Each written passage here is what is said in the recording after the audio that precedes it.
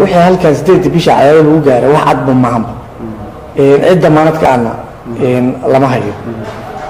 Marka waxay u muuqataa in intii hore oo wax isku darsatay in hadda la kala diray. Dee qoys kastaana uu aayihiisa ka fakeri doono. Waxaa la gudboon inaysan aayahooda cid dambe ay ku aaminaan.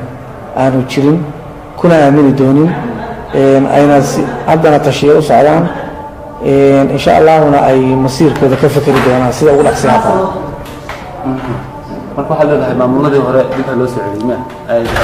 iyo mar haddii wixii la isku daray iyo sharcigii lagu xadgudbay lana geliyey shaki jiritaankii galmudug waxay ku qasban tahay cid kastaaba inay masiirkeeda ay ka fakerto haddii aan si deg deg ah waxaa qaldamay sida bareeraha loo qalday dowladda muqdishona waxaad moodaa inay dowladdii hore raadkeedii qaadayo ay dowladdii hore ku caanbaxday inay muqdisho inta ka boodo ay galmudug timaado ay danaheeda ka fushato haddana waxaad moodaa inay waddadii oo kale qaadatay oo kale. Marka haddii la waayo isku hallayn dhab ah waxaa qasaba in dadku aayahooda ay ka tashadaan. Heshiiskaas waxaan u arkaa bilowga burburkii galmudug mana u arko heshiiskaas in dariiq saxa loo maray. Sidaas darteed waxaan anuu aaminsanahay in burburkii galmudug bilowgiisii uu ahaa. Si cadna loo baalmaray dariiqii saxda ahaa ee galmudug sharciyaddeedu ay ku qotantay iyadoo dana gaara laga leeyahay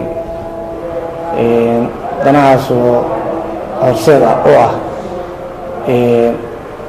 baabi'inta galmudug waa tahay waxaa jirtay in baarlamaanku ay dhawaan ansixiyeen in toban tobanka bishaan hadda socotay in la qabto doorashada madaxweynaha galmudug heshiiska maanta dhaweyd halkan lagu kala saxiixdana wuxuu ahaa heshiis arrintaa burinaya oo go'aanka baarlamaanku ay gacanta u taageen burinaya marka awooddii baarlamaanka galmudug lahaa maxay u dhibi kartaa arrintaas?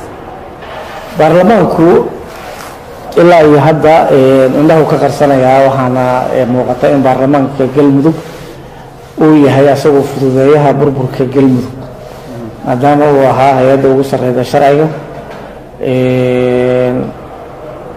uuna guddigii baarlamaanku anagu guddi doorashaan ogeyn oo ku astaysnaa maanta inay doorasho qabtaan oo bishii toban tahay. Kadibna si aan bulshada galmudug loo faahfaahin ayaa wafdi ka socda dowladda dhexe u soo gaaray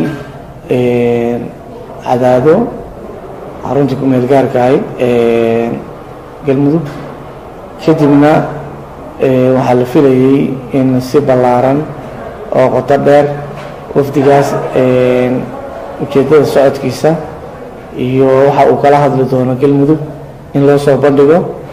Laakiin waxaanu ka war helnay. Markuu soo gaaray cadaado dhowr saacadood kadib la yidhi koob iyo labaatan casho ayaa dib loo dhigay oo aan damaanad qaad lahayn oo aan qorshe cad lahayn